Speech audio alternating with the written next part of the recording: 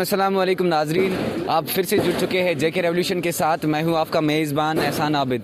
नाजरीन बारामला के नूरबाग कॉलोनी में इस टाइम पे हम मौजूद हैं, जहाँ से एक हफ़्ते पहले तकरीबन जो वारदात पेश आई थी, जिससे, जिसमें आपने देखा था कि आग के स्पुर्द कम से कम 20 से 25 जो फैमिलीज़ या मकान हैं, वो हुए थे।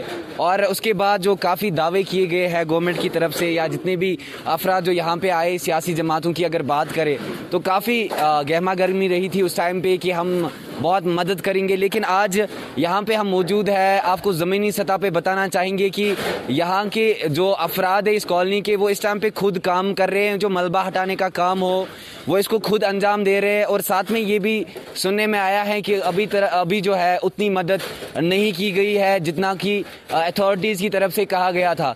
यहाँ पे हमारे साथ इस कॉलोनी के लोग भी मौजूद है, जिनके घर इस आग में जेर हुए थे। उनसे भी हम बात करेंगे और जानेंगे कि असल में जो दर हकीकत है, वो क्या है, कितनी मदद हुई है और किस तरह से जो वादे किए जाते क्या उन पर कोई बाद में काम होता है, नहीं होता है, आप देख सकते हो, हमारे साथ मौजूद है इस कॉलोनी के अफराद, इनसे हम बात करेंगे। सर, आप लोगों का बहुत शुक्रिया, आप यहाँ पे बैठे हमारे साथ बात करने के लिए। मैं आपसे पूछना चाहूँगा, सर, आप बताइए हमें कि, मैं बैठ के बात करते कितना रिलीफ आप बात करेंगे सुनिए कितना रिलीफ आपको मिला और किस तरह से आपने गवर्नमेंट से उम्मीद रखी थी कि हमें मदद की की जाएगी? लेकिन कहीं ना कहीं ये लग रहा है कि अभी वो मदद नहीं हो पा रही है। ये बात तो सही है कि अभी तक हमें पूरा इस चीज़ से श्योर नहीं हुए हैं कि हमारा ज़मीनी सतह कहाँ पर पहुँचा है और इंतज़ामिया की तरफ़ से हमारी तरफ़ क्या रजू हुआ है। अभी आप खुद देख रहे हो कि हमारे सभी जितने भी मकान डिज़ायर हुए हैं, वो खुद निकले हैं मलबा उठाने के लिए और खुद ही काम कर रहे हैं। लेकिन हम दिन ब दिन अब अपनी मतलब जहनी सोच से भी कमज़ोर होते जा रहे हैं कि आगे विंटर आ रहा है। विंटर से पहले पहले अगर हमारे लिए इंतज़ामिया गवर्नमेंट कुछ कर देती तो शायद हम भी अपने आशियानों में रह पाएँगे। तो गवर्नमेंट ने कहा था ये मलबा जो है ये इसका हटाने का काम गवर्नमेंट का होगा लेकिन आप क्यों मजबूर हो चुके हैं? आप खुद ये काम कर रहे हैं। हम इसलिए मजबूर हो चुके हैं क्योंकि हमें कल के बारे में सोचना है। कल हम अपने बच्चे बीवी बच्चे हैं जो हमारे वो सर्दी में हम रख नहीं सकते हैं। क्योंकि गवर्नमेंट कब करेगी ये अभी हमको पूरा पता नहीं है। तो इसीलिए हम दिन ब दिन दिन ब दिन अपने आप में सोच एक पैदा कर रहे हैं कि आगे हमारा क्या होने वाला है। कितना इमदाद आपको मिला है गवर्नमेंट अभी तक तो हमें कोई पूरा ये पता नहीं चला है कि इमदाद क्या हुई है क्या नहीं हुई है। हमें यही आता है कोई खाने का या कोई सिस्टम होता है यही वो भी हम खुद कर रहे हैं आजकल हम खुद पका रहे हैं और खुद खिला रहे हैं। बाकी अभी तक इमदाद का कोई पूरा पता नहीं है।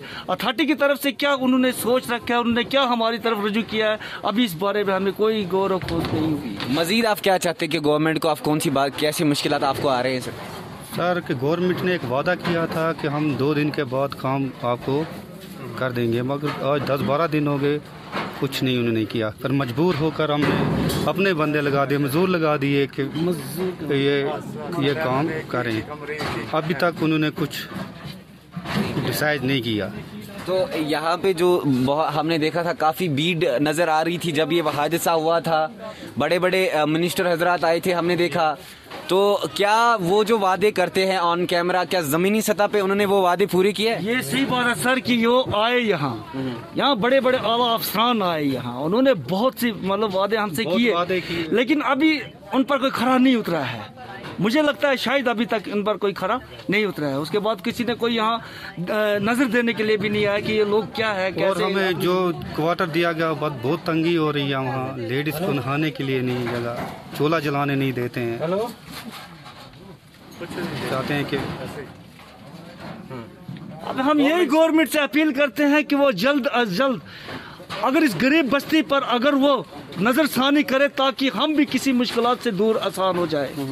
तो इसलिए हम कहते हैं कि अपनी तरफ़ से हम जिद आप देखो इस वक्त हमारे सभी जितने भी मकान खाकस्तर हुए हैं उनकी जो फैमिलीज़ है तीस फैमिलीज़ है वो इस वक्त राहों पर निकल रहा है रास्तों पर निकल रहा है। अगर कल कल तक अगर गवर्नमेंट अगर ये ना करेगी हो सकता है हम सारे वहाँ रास्ता बंद कर देंगे। तो आपको लगता है कि अगर ऐसा नहीं हुआ तो हमें हम मजबूरन रास्ते पे आएँगे हम धरना देंगे। मजबूर बिल्कुल। हम धरना दे देंगे। तो सुनने में ये भी आया था कि कुछ रिलीफ मिले थे लाइक आपने एन ने काफ़ी हेल्प की। साथ में ये भी सुनने में आया था कि आर्मी ने थोड़ा हेल्प किया था आपको रिलीफ क्या ये सच है? दो तीन दिन हमें दिया था उन्होंने। बस खाना। उनके बाद उन्होंने भी आई आर्मी भी आई।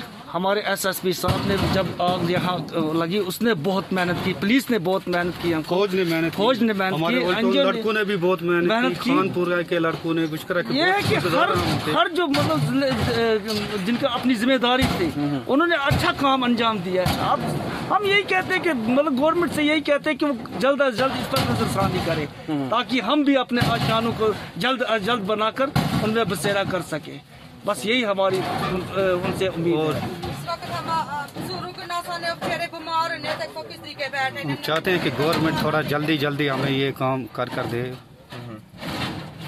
तो कितने आप जो यहाँ पे कितनी फैमिलीज़ है जिनकी तकरीबन ये नुकसान हुआ है और कम से कम तीस फैमिली है। हाँ, हाँ। तीस फैमिली तीस फैमिली सोलह मकान है उनमें तीस सोलह मकान है। उनमें तीस फैमिली की क्या वाबस्ती से। वो सब इस वक्त दरबदर हो गए हैं। कहाँ जाएँगे? अगर गवर्नमेंट भी इस तरफ़ नज़र नहीं करेगी तो फिर ये कहाँ जाएँगे? ए पहले से हाँ मतलब बैंक लोनों में है मजदूर मजदूरी करते हैं सभी मुलाजिम नहीं है। कुछ मुलाजिम है जो बैंक लोनों में फंसे हुए हैं तो उन्होंने बैंक लोन से ले लेकर ये मकान अपने आशाने खड़े किए थे। अब वो भी नहीं रहे तो अब रह करेंगे तो करेंगे क्या? अगर उनकी तरफ़ से अगर इंतजामिया की तरफ़ से कोई मदद हो जाए ये तो बहुत बड़ा हमारे लिए एहसान होगा उनका। तो नाजरीन आपको बता दें कि वाकई में जो ज़मीनी सतह पे जो हालात है वो ये है कि यहाँ के लोग अभी भी काफ़ी मुश्किल से गुजर रहे हैं। हालाँकि इंतज़ामिया की तरफ़ से जो वादे किए जाते हैं, जब कोई ऐसा हादसा होता है, हम देखते हैं कि काफ़ी भीड़ होती है। और बाद में वादे भी किए जाते हैं कि हम इन लोगों के लिए काफ़ी कुछ करेंगे। लेकिन अभी मसला ये है कि आज अपने इन्होंने मजदूर लगाए हैं इस मलबे को हटाने के लिए और साथ में जो इनके साथ जो वादा किया गया था कि ज़मीनें देंगे या जो रिहाइश है इनकी, वो घर बना के देंगे। लेकिन अभी फ़िलहाल उस पर कोई कदम नहीं उठाया गया है। तो हम उम्मीद रखेंगे कि इंतज़ामिया तक ये बात जो पहुँच रही है कि आप इन ये जो एक बहुत ही पस्त लोग है, ये हमेशा जो है हमारे जो है कॉलोनीज में रहते हैं और काफ़ी स्पेशली साफ़ सफ जब साफ़ सफ़ाई की बात आती है तो ये सबसे फ्रेंड पे होते हैं। इन्होंने हमेशा अपनी लाइफ को डिवोट किया है यहाँ जे के को साफ़ रखने में, या इन्होंने अपनी कुर्बानियाँ दी है। अगर हम बात करें कोविड नाइन्टीन में, जिस तरह से इन्होंने काम किया हर एक जगह पे। लेकिन आज ये इस टाइम पे बहुत ही मुश्किल में हैं, क्योंकि इनके घर आग के, आग में जल गए थे तो अब ये बहुत ही मुश्किल में यहाँ पे हैं। तो हम उम्मीद रखेंगे कि इंतज़ामिया तक ये बात पहुँचेगी, और इसके ऊपर वो जल्द से जल्द कोई कदम उठाए, कोई ठोस कदम उठाए, ताकि ये जो फैमिलीज़ है, ये इस तरह की मुश्किल में आगे ना रहे। आप बने रहिए जेके रेवोल्यूशन के साथ।